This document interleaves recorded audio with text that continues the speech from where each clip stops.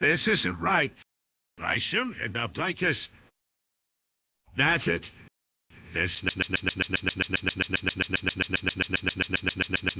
Hello, guys. Thank you for so many. Yeah, but Dad would do.